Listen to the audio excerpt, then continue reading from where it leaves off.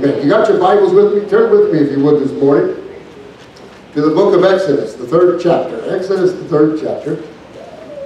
We're celebrating. Amen. Remember all of our men and women who have given their lives. Amen. For our freedom and our liberty. We honor them today. Hallelujah. We want to welcome all of our live stream, YouTube, and Facebook listeners. Thank you for taking time to join with us today. We consider that a great honor and value you and value your time. And we pray God will bless you real good. Amen. Real good. God has a real good blessing for each and every one. Exodus, the third chapter, the 13th to the 15th verse. When you've got it, say, I got it. If you would, stand with me and we'll read this together and then you may be seated. Hallelujah. All right. And Moses said unto God, Behold, when I come unto the children of Israel, and say unto them, The God of your fathers hath sent me unto you, and they shall say to me, What is his name, and what, what shall I say unto them? And God said unto Moses, I am that I am. And he said, Thus shalt thou say unto the children of Israel, I am has sent me unto you. And God shall moreover said unto Moses, Thou shalt, thou shalt, uh, thus shalt thou say unto the children of Israel, The Lord God of your fathers, the God of Abraham, the God of Isaac, and the God of Jacob, has sent me unto you. This is my name forever, and this is my memorial unto all generations. Hallelujah. Hallelujah. Yes, we celebrate this memorial for America and all of its slaves all of its heroes and all of its soldiers. But we also are going to celebrate God's memorial today. Yes. And we're going to hear about it. God wants you to know. Yes. Amen. About it. Is that word prayer? Heavenly Father, I thank you for this special weekend, this special time that we that we remember and uh, and uh, celebrate all the lives and all the families that have uh, given their loved ones and uh, have paid the ultimate price. We honor them we bless their memory. We thank you for the freedom and liberty that they were willing to purchase with their the blood of their lives. And Father, we count that not a light thing, but it is a great sacrifice, a great gift to us. We thank you for them, every one of them, some 1.3 million who have given their lives in all of our wars. We bless them and their families and all those today and this weekend. Father, we ask your blessing now upon this word. Take it, use it for your honor and your glory. In Jesus' name we pray.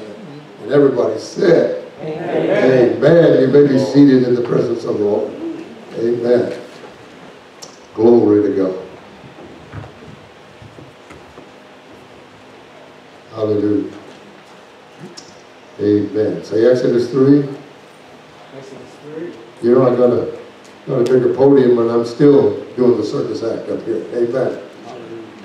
God is still a good God, isn't he? Yes. God's Memorial Day.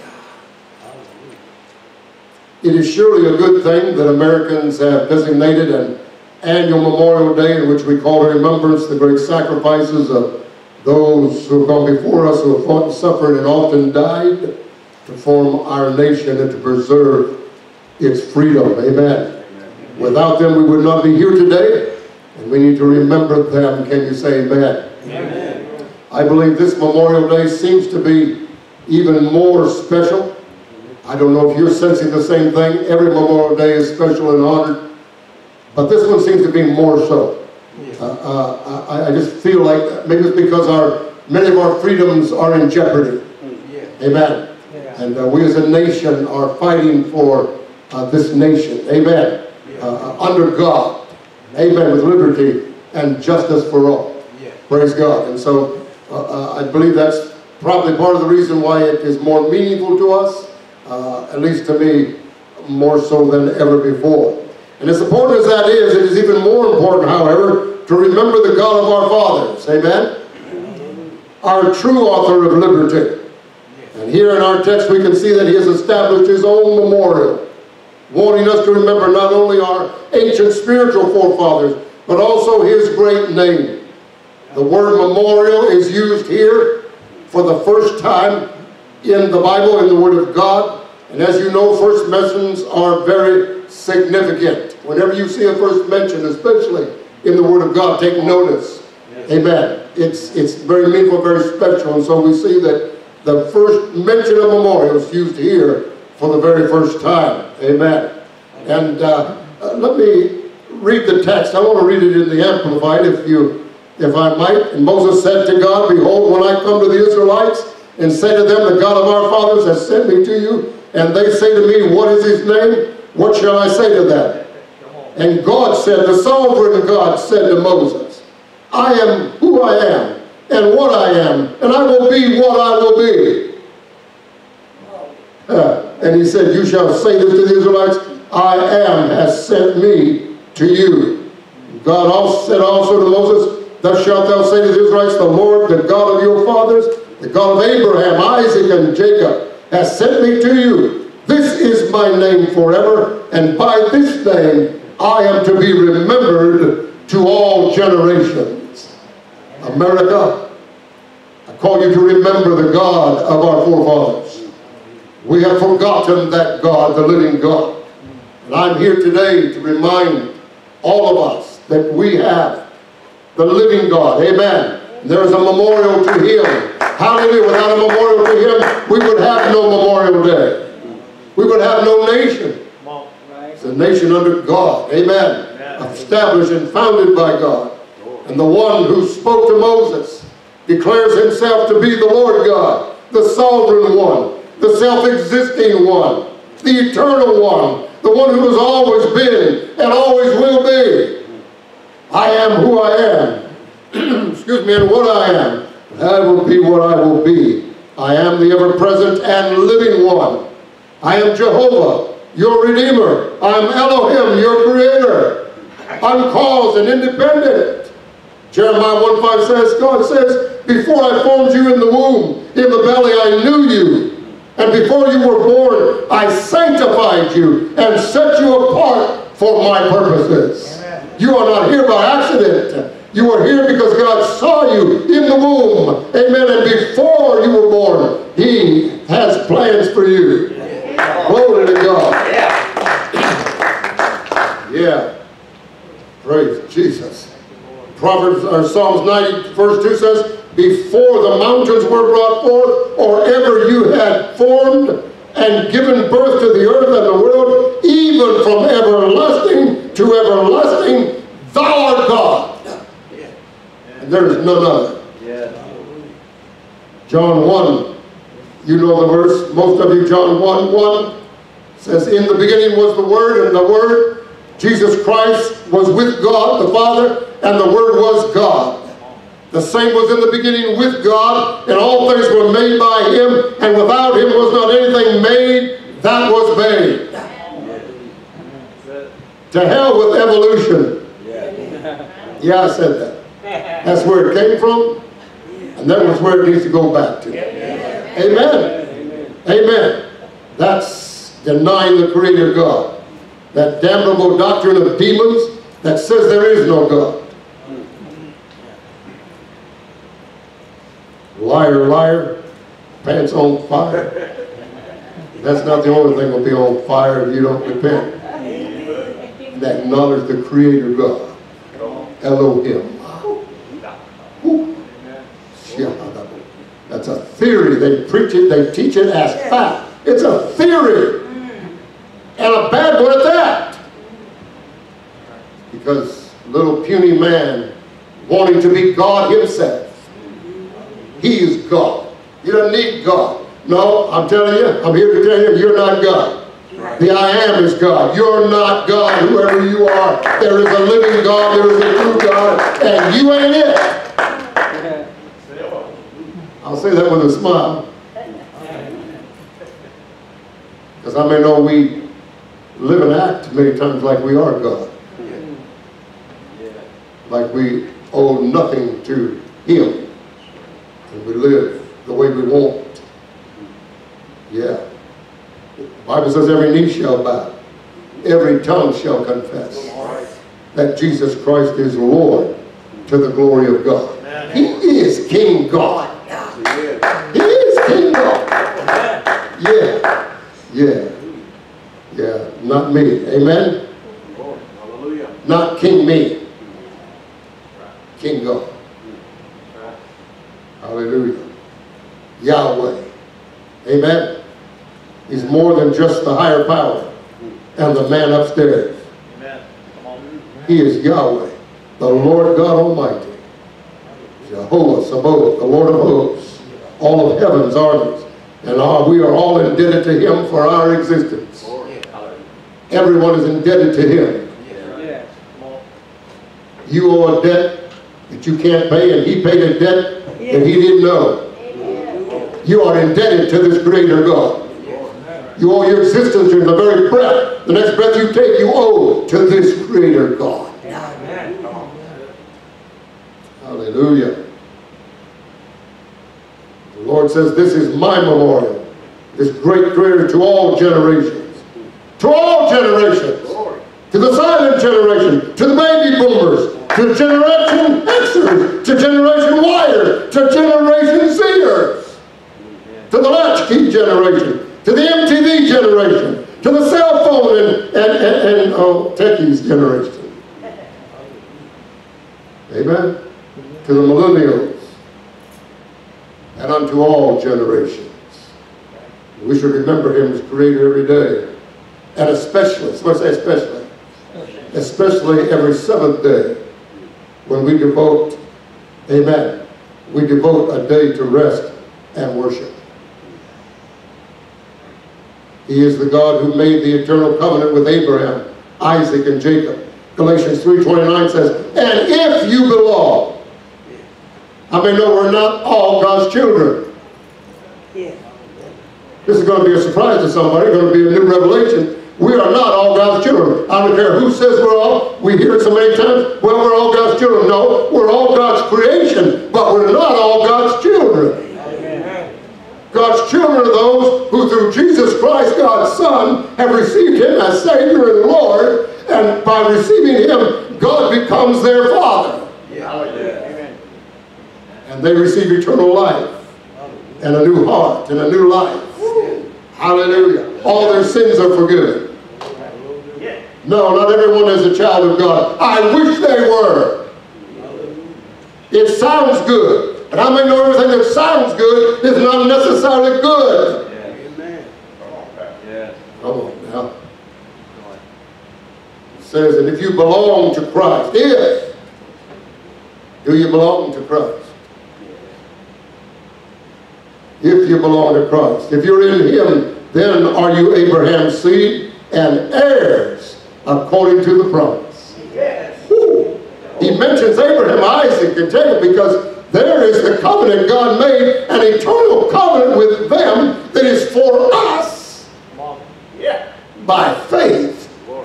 We be Abraham's seed also, and the blessing of Abraham is ours today. Glory to God. If we belong to Christ. My prayer today is that you will belong to Him. Amen. That you will receive Him and accept Him as your personal Savior. Those who have accepted Him. If you haven't done that, I invite you today to ask Him to come and be your Savior and Lord. Amen. It's the greatest decision you will ever make. The one who forgives all of our sins and gives you a new heart, a new life, and eternal life for the asking. Amen? And that leads me to another reason. To remember the Lord for his work.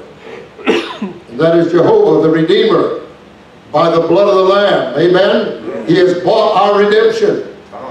That is a memorial, amen, to what he did. Amen. When he became a man and died to save us from our sins, he established a memorial supper, which we call communion, saying, This do in remembrance of me. This do make this a memorial.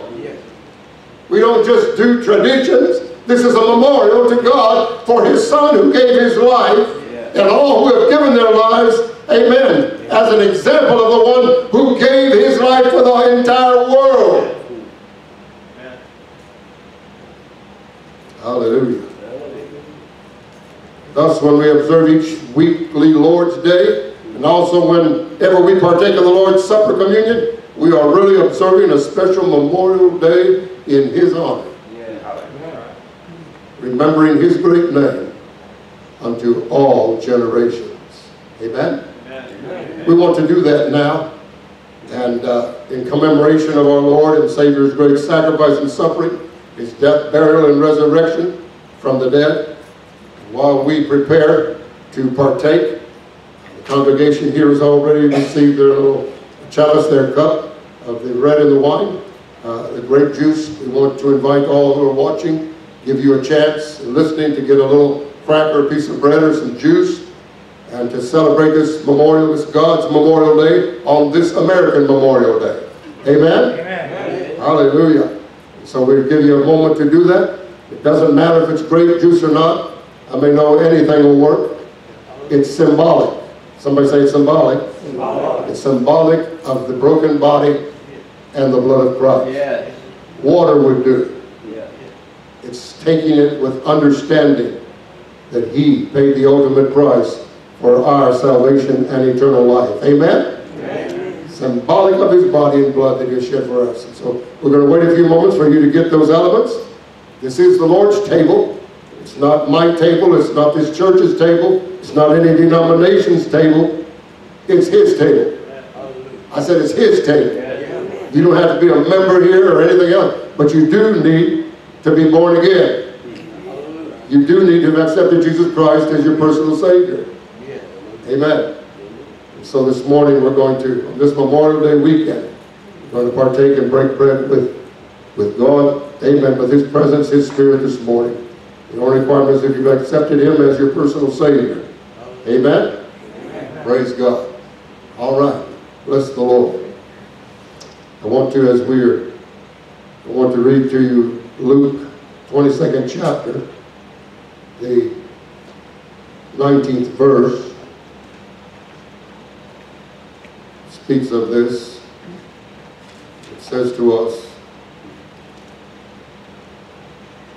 He says, And with desire I have desired to eat this Passover with you before I suffer. For I say to you that I will not any more eat this thereof until it be fulfilled in the kingdom of God. And he took the cup and gave thanks and said, Take this, divide it among yourselves. For I say unto you, I will not drink of the fruit of the vine until the kingdom of God shall come. And he took the bread and he gave thanks and he brake it. And he gave it unto them, saying, This is my body which is given for you. This do in remembrance of me. This is also called the Eucharist. Amen? Some call it the communion, some call it the Lord's Supper, the Eucharist. Eucharist means to give thanks and to say a blessing. Amen? That's what we're doing this morning. It's what the Jewish people have said over the ages, have said over the bread for ages. It's what the Messiah said over the bread. It's the Hebrew blessing known as the Motzi. Blessed are you, O Lord our God, King of the universe, who brings forth bread from the earth. So it is not the bread, but it's the blessing of thanks he gave over the bread. Are you with me?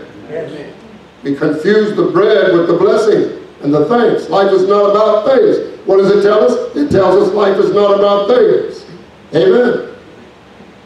It tells you that your life does not consist of objects, but of the blessings you say over them. The thanks you say over them. Are you with me? You see, it doesn't matter how much or little you have on earth. What matters is how much thanks you give for what you have. The one who is rich in possessions but poor in thanksgiving is in the end poor. And the one who is poor in possessions but rich in giving thanks, that one is rich. It was the symbol of his suffering and death. Yet he spoke a blessing over it, and he gave thanks for it. For those who give thanks in all things, in all things, they have the power to turn curses into blessings and sorrows into joy. If you will give thanks, Jesus, the same night in which he was betrayed, he gave thanks. Life can betray us in a lot of different ways. Are you hearing me? People have been betrayed in all kinds of different ways. Relationships, situations, promises broken, whatnot. Jesus was betrayed by one of his inner circle, someone he loved and pretended to love him, but loved money more than him. The same night in which he was betrayed, he gave thanks. Many know that takes grace to be able to give thanks when you go when you've gone through something like that? When you know somebody's betraying you at that very moment, and he gave thanks. And by giving thanks, he was able to turn that curse into a blessing. If we will give thanks in everything, in everything give thanks, he said, for this is the will of God in Christ Jesus concerning you. Give thanks. Amen. It's the power of the Eucharist. I thank God today for what he's doing in this memorial supper for all of us today. Amen. You'll take your cup and the bread. We're going to partake. You there at home, partake together. Amen. If we could have a little music, that would sure be nice. Yeah. Thank you, Lord. Holy Spirit loves music. Hopefully we won't get dinged for it. Amen. Our face to it. Hallelujah.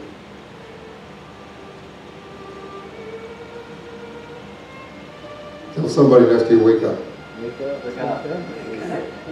Joy is here. Joy is here. Amen. God is here today. So we don't need to increase what we have. We need to increase our thanks for what we have. Amen. Would you agree with me on that? Amen. Father, we take this bread. He said eat. He gave thanks for it. Would you do that in your own way this morning? Would you give thanks? To say, Lord, I give thanks for this symbol of your broken body so that I could be whole, so that I could be mended, so that my brokenness could receive wholeness and could receive healing.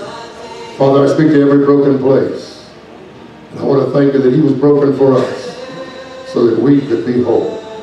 I speak wholeness right now.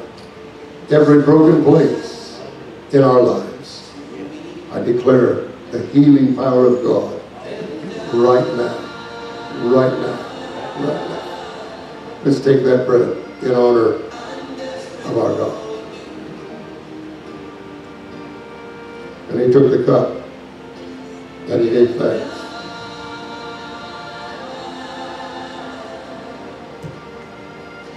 He said, this, this is my blood which is shed for you for the remission of sins. He says, drink all of it. Receive all of it.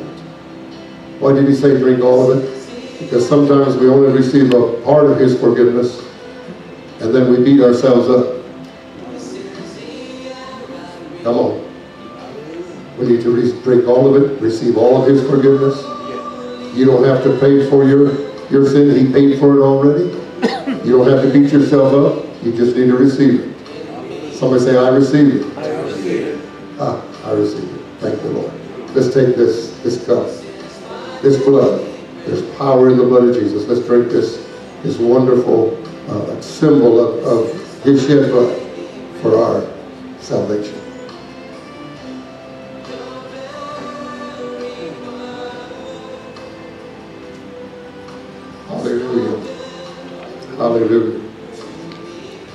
Lord, we thank you for this memorial. We give you praise for the for God's memorial today. This is my memorial, you say, for all generations. We pray for all the generations. Would you pray with me? We pray for all the generations. Xers, Yers, Zers, Boomers, wh- whoever they are. Whatever age group they land in. Pray that they would remember and, and make God's memorial in their life. In Jesus' name, right now. I pray that you will draw every every attention, every person to attention to what you're doing, that you have a memorial as we celebrate our American Memorial this weekend. We give you praise and give you glory and give you honor. We thank you for the life that you're bringing now. Thank you that in these elements there is life. By faith we take them and we thank you. We receive healing and health and wholeness. We thank you for life in every manifestation in our lives. In Jesus' name, amen. Church, I want you to agree with me now as we we go to uh, Facebook and a YouTube uh, a special. Going to have to say good day happy Memorial Day to all of our YouTube and, and, and uh, Facebook listeners. Uh, we're going to close our service though by praying for you and want to encourage you. We're about to see a, uh, a Star Spangled Banner story uh, by the First Presbyterian Church there in Hinesville. You can access that. You can search that on on Facebook, uh, and you can also enjoy that. Uh, we cannot share that because of copyright issues, but it will be a blessing to you. The Lord put it on my heart. We're going to receive it here in just a moment. And also, Bill and Gloria Gaither. Uh, they have a live, a few good men and women. Amen? And you will be blessed. And so again, we encourage you to search the, uh, the web for the Star Spangled Banner story. It will be a blessing to you. And also Bill and Gloria Gaither's A Few Good Men uh, concert live in Jesus. Congregation, let's agree together and pray for our Facebook and YouTube listeners. Father, we agree together right now. We thank you for each one that has taken time to log on, to listen to what you're saying today. That you have a memorial, and we celebrate that memorial we have, and we will continue. We pray, Father, that this Memorial Day, American Memorial, will be even more meaningful because of our celebration today of the one who gave his life, Jesus Christ. Pray that you'll bless every, every Facebook and every YouTube listener now. Bless them, their families. Father, we pray that this weekend will be a special time and a special day for each one of them. We pray, Father, that you will have spoken today and touched someone's heart to know that there is more than this. There is more than this. We want to thank you for it. If this is all there is, then we are all men most miserable. But this is not all there is. God has much, much more for you, every one of you. And we pray his blessing and that more upon your life. God bless you. We love you. God be with you. Enjoy, we pray, safe Memorial Day weekend. Amen. Happy Memorial Day.